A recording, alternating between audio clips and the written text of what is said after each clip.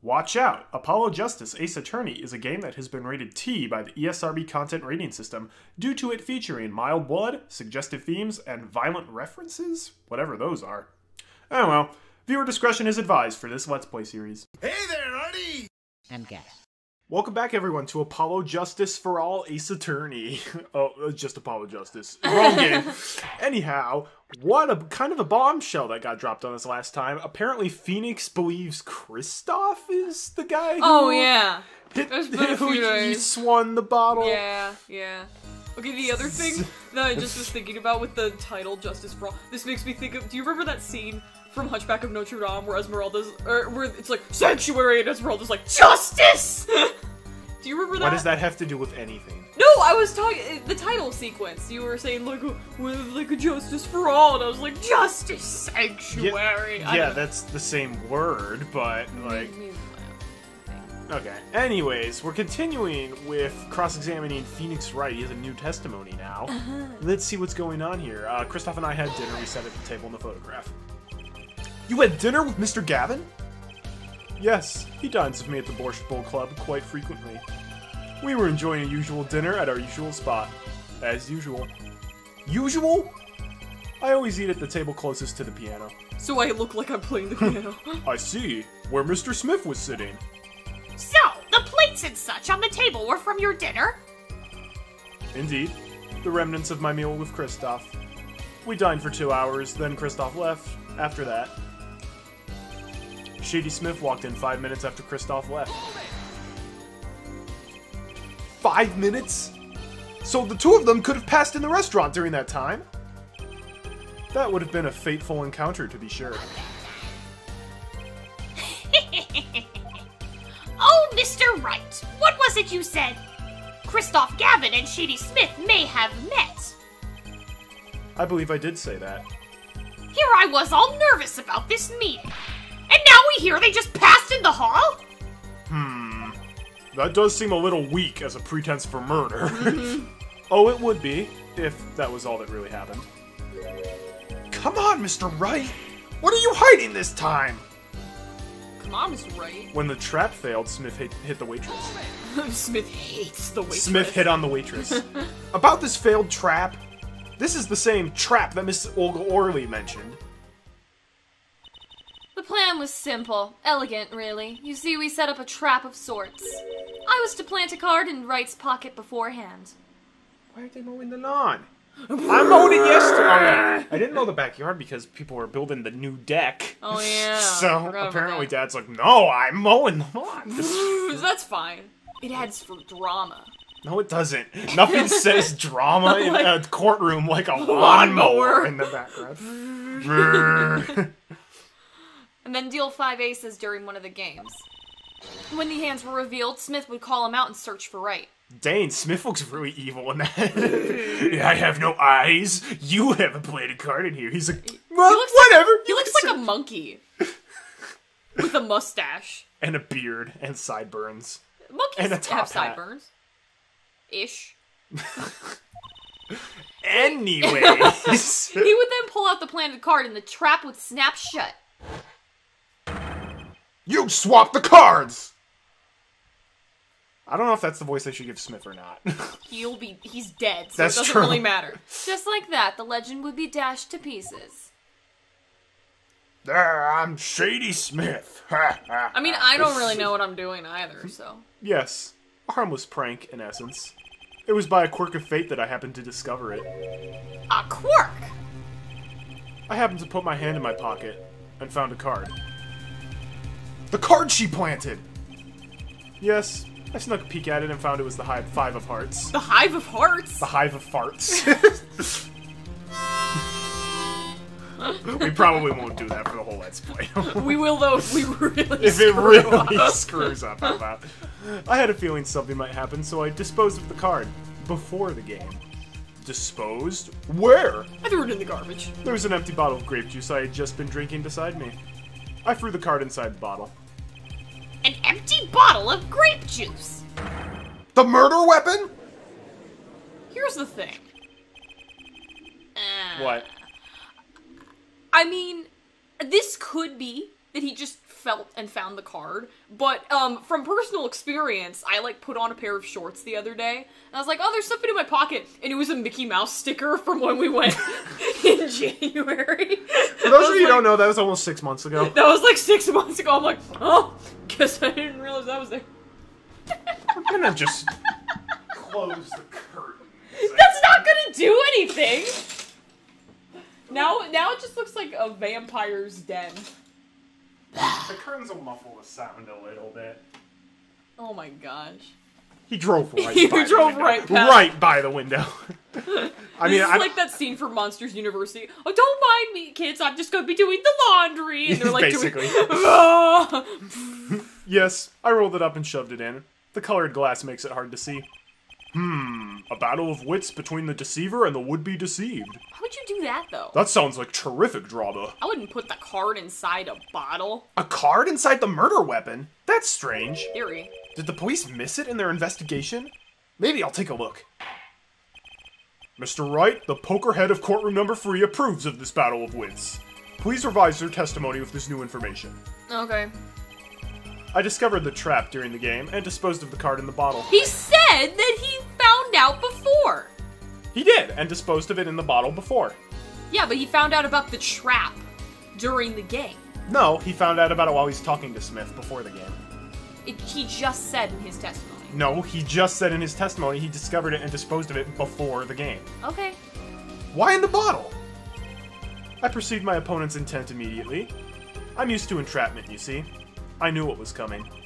Ho ho, so you struck first. I like that. I know every trick in the book. They don't work on me. At least when you get lucky and stick your hand in your pocket, they don't. Yeah, I didn't get lucky.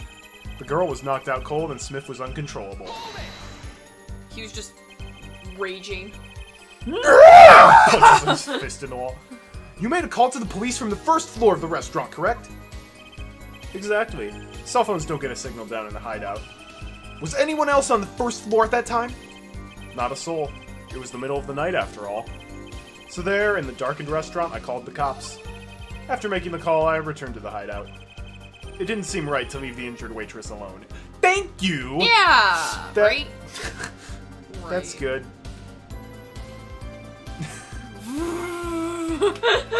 It's always something. Yeah, it's either me sneezing or him. When I returned, he was dead, blood streaming from a cut on his forehead. And when you returned, the victim had uh, was already dead. Yes. I'll admit, I was a little startled when I walked in. Uh, little? He was bleeding from his forehead after all. I guess I'd be startled too if I walked in on a scene like that. That's when I made another phone call to defense attorney Gavin. Kristoph hasn't spoken in like. Since we started the recording, Yeah. it's true. Could you explain why you called Mr. Gavin? I'd obviously gotten involved in a rather sticky affair, and I figured Kristoph's law offices would give me a friend rate for my defense fees. Ah, glad to hear you intend to pay. Oh, I'll pay in full, Kristoph. It was I who got you involved after all. yeah, Yeah. kinda no kidding. You may find the price of your defense quite high, my good friend. Quite high. Is this the truth that Mr. Wright was talking about? Oh man, the bills. Justice, you know what you have to do. He's lying. Expose him. Now. Y- yes, sir. I have to think. What's Mr. Wright trying to tell me with this testimony? The truth has to be in there somewhere. Oh, yeah. Let's check, Check the bottle. Turn it around. We actually checked it earlier already. The bottle is completely empty. Oh. So I guess that means it's mine? Yeah. I Sorry, disposed dude. of the card and oh no! Um, Mr. Wright, if I may. Yes. I've examined the bottle and uh, I, I don't see any card in there. Hmm? No? What, Mr. Wright? Surely ellipses aren't all you have to say for yourself. I can't say that I know what happened to the card. I did put it in that bottle, however. Huh? Perhaps a fifth person came and took it out. Oh, and a sixth person could have helped. Mr. Gavin, Mr. Wright is your client. My apologies, Your Honor. I won't have you disparaging. Disparaging? Disparaging. Oh, disparaging. I won't have you disparaging our investigation either. We've looked inside the bottle. There was nothing. we also know that the uh, attorneys are known for maybe uh, being weird with evidence. Oh, I forgot to I feel like- update the autopsy report. No, I made sure to update the autopsy report. No, Payne, uh, say what you will about Payne, he's super incompetent, but he's at least, he doesn't really use dirty tricks. yeah, that's because he's that bad. he's too stupid to know to play dirty. So what's going on? Is Mr. Wright hoodwinking us again? Or did the card just disappear? Into thin air. In any case, please continue the cross-examination. I'm afraid decisive contradictions call for decisive evidence. Oh, Oh. Push him harder, Justice. Break him. Uh, It's just you and the witness in the ring. Go for the KO. Uh, why do I get the feeling we're not on our client's side anymore? we aren't. Because Phoenix Wright is like, oh yeah, my defense attorney and good friend is the killer." Kristoph's like, what the bleep, dude? Yeah. I was giving you the senior discount. oh wait, maybe that's why. Mm-hmm. Okay. okay, we sat at the table in the photo. Shitty Smith, Smith, walked oh in, discovered the discovered the trap. I disposed of it in yeah, the see, bottle. during the game. Go back. It says, I discovered the trap during the game. oh, that is strange. That's why that's a problem. oh. Yeah, that is an inconsistency. Good catch. That's an inconsistency. It's before. Is Mhm. that like something we actually point out or no? No, that's not. That's literally Oh. just like a translation typo or something. Okay, cool. It's supposed to be before the game, not That's like during the game. first thing I've ever seen that's been a, like a mistranslation. As Or other it's supposed to count is now in Gout. session. Okay, but that's more um like spelling errors. Right. That's like a completely wrong word. Girls knocked out cold. Smith was under control. Though. I called the police. When I returned, he was dead, blood streaming from a cut on his forehead. It went backwards. Uh, yeah. So let me see the photo. So that's the second photo. He was dead, So this is wincing from the so this is the police basically when they examined the body, they took this photo.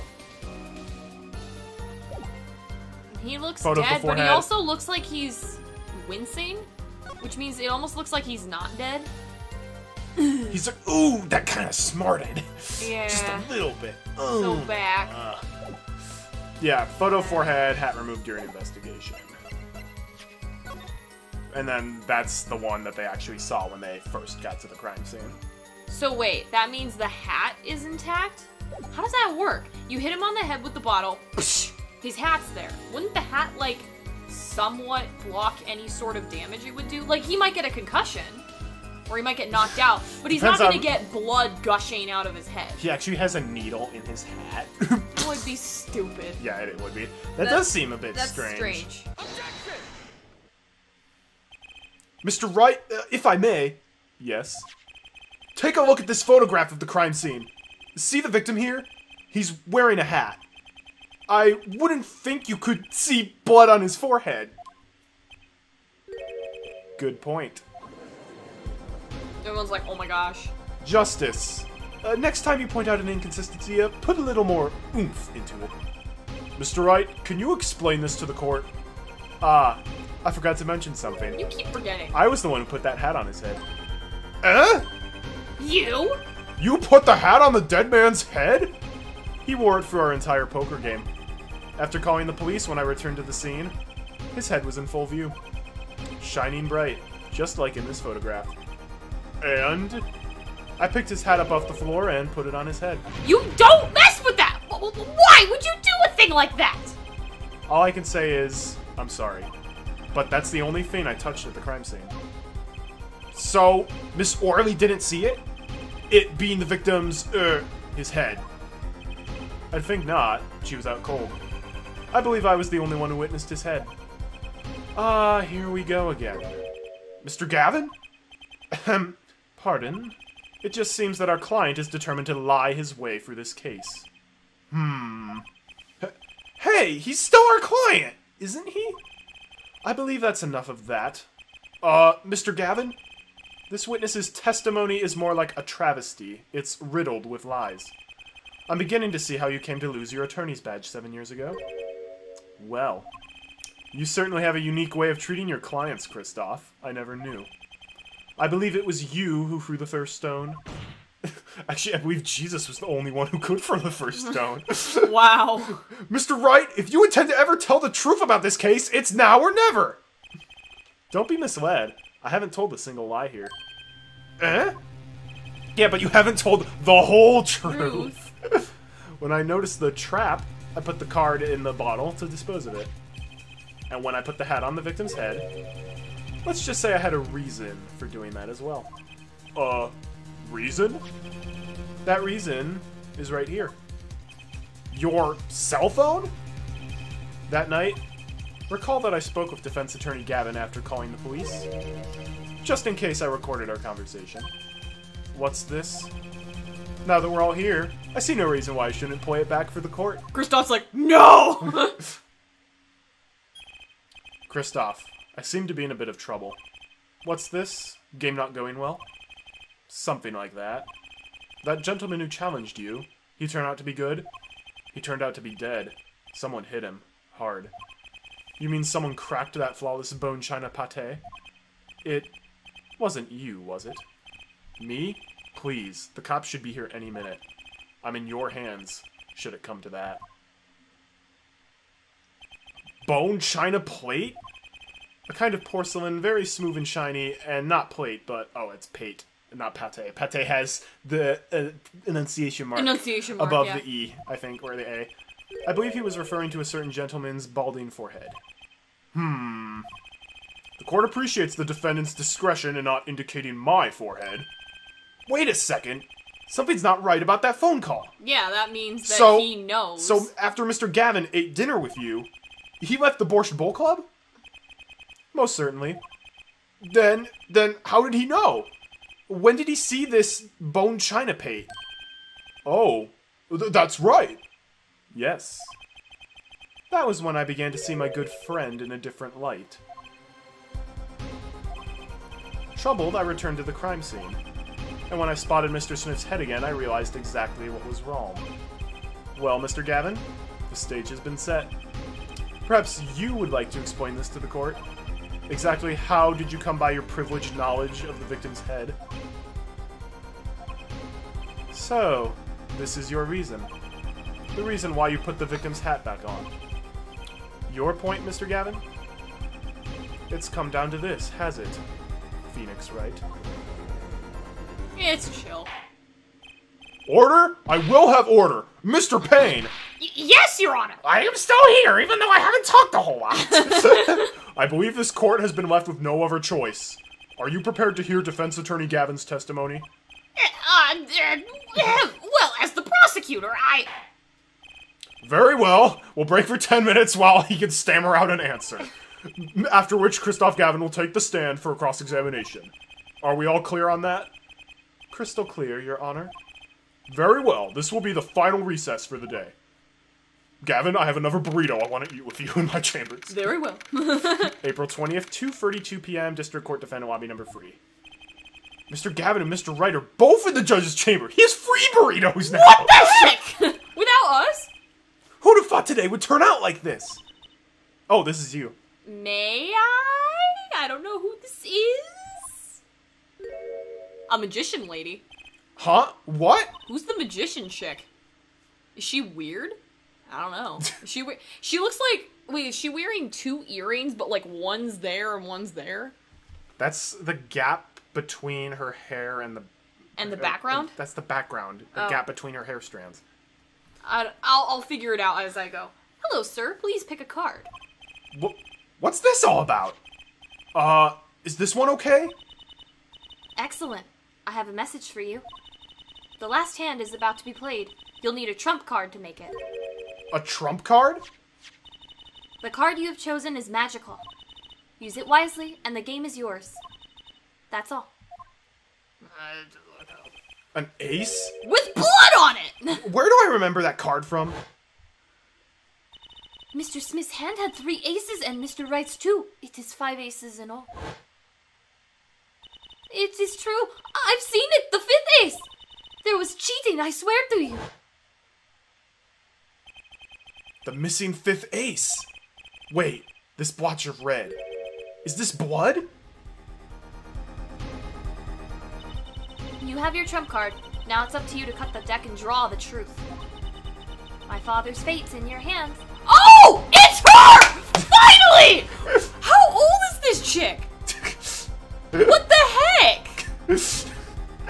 Also, why is she a magician? why? Why does Phoenix Wright have a daughter that's that old? And why does he have a daughter that's a magician? They adopted Marty. That doesn't necessarily. I, I doubt it. they adopted a magician. He adopted a magician. Th- that would be. it was Maya's idea. Maya's idea. Well, this is assuming he married Maya. He could have married Iris. She looks too much like Mia to be Iris's kid. Does that sound weird to say? I don't know. I mean, Iris and Mia are related, so. Technically. That, this is that's the problem with this. Is I'm like I don't know who this is. What's the problem? What's the problem? It's the What's the problem? Um, wow. but now this now this makes now I don't know what voice to give her. What if she comes back? Um, my father's fate's in your hands. I know you can do it. And then she disappears. Also, she looks like Ema Skye. That's who she really looks like. Yeah, I don't think that that's No, no. Well, obviously not, because that this is before. No, this is not before that. This is after that. This is way This is after way that. after This is like 10 years after that. Yeah. Or She looked too- nine, nine or 10 years. She looked too old to have been a child born like ten years or, or like or re- more recently. Yeah, I So- agree. What the heck? Why would you do that? I'm so confused. well, maybe we'll figure that out later. Bloodstained card. this bloodstained card is my trump card to find out the truth. The trump card is the best card of all the cards. has blood on it. I fell deep into thought as my mind raced to understand what this all meant. I know. That girl. I'd seen her recently, but where? You'd seen her before? That's when I made the connection. Oh yeah. Oh, I didn't realize she had a magician's costume. I thought she had like shawl, and then she was wearing a really nice hat because they went like somewhere fancy. They went to the, the went- British family's royal garden. I mean, maybe, and then like Jenkins showed the guests around. It's beautiful. So then Phoenix Wright would be like, take a picture. Bloody ace added to the court record. I mean, that makes sense. As soon as she said father, I was like, oh. Oh wow, this is an interesting thing. I was just like really awkwardly sitting. Look at that pose of pain. He's just like, "Ugh. I have a card under my palm. If it's if you guess the right suit, you win. I don't know. I only have a one in All the people are standing super still. Also, I never realized there was like a skylight Yeah. up top. April never realized April twentieth, two forty-five p.m. District Court courtroom number two. Here's the fan. Yeah. Should we end the episode here and do another one, or should we just do a really long final episode? Let's end it here and do another one. Alrighty. Thanks for watching, everybody. Tune in next time for the final showdown. Interim Yeah. about Trump. It's the greatest showdown. I- I need to. no, you need to stop. Anyhow, thanks again, and until we meet again, my friends, have a great day, and God bless.